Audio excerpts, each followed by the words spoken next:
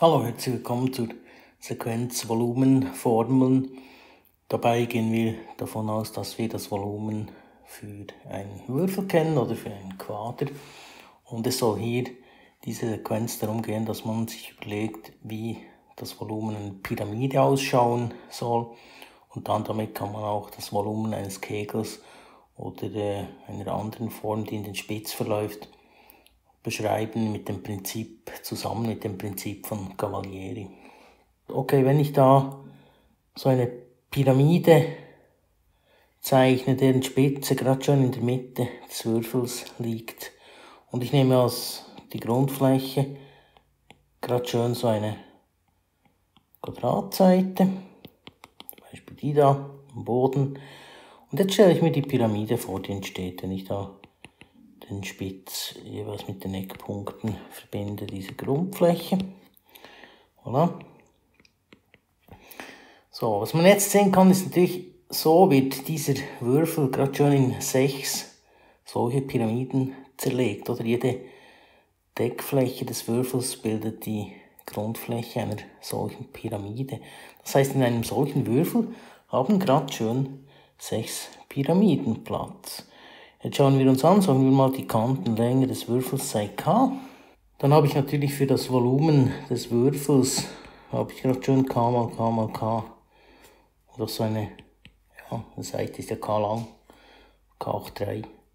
Und für die Pyramide, also sagen wir mal, ich weiß einen Faktor noch nicht, den nenne ich a, diesen Proportionalitätsfaktor.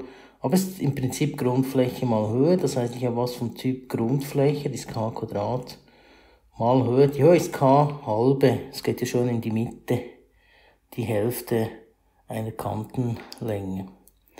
Jetzt, die eben sechs Pyramiden haben Platz, haben wir gesagt, also die sechs VPs, die haben gerade schön Platz in meinem Volumen des Würfels.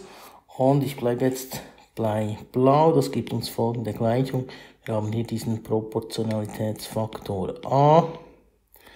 Die, dieser Term hier zusammengefasst gibt k hoch 3 Zweitel und das muss das Volumen des Würfels geben, das ist k hoch 3.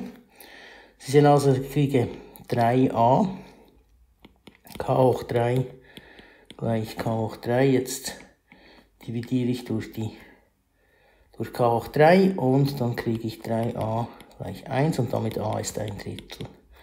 Und somit habe ich hier diesen Vorfaktor gefunden. Also wenn die Pyramide in Spitz läuft, dann wird deren Volumen gerade schon ein Drittel sein. Äh, daneben multipliziert mit Grundfläche und Höhe. Voilà, und das bedeutet also für uns, können wir jetzt mit dem Prinzip äh, von Cavalieri können wir schließen, auch wenn wir einen Kegel haben, beispielsweise einen Kreiskegel, und ich eine Pyramide mache, die das Prinzip von Cavalieri erfüllt, dann äh, kann ich natürlich sagen, dass hier auch der Faktor ein Drittel eine Rolle spielen muss. Also die, die, das Volumen für diesen Kegel wird dann auch Grundfläche mal Höhe mal ein Drittel sein. Also lässt sich dieser Drittel hier motivieren für Objekte, die quasi in den Spitz laufen.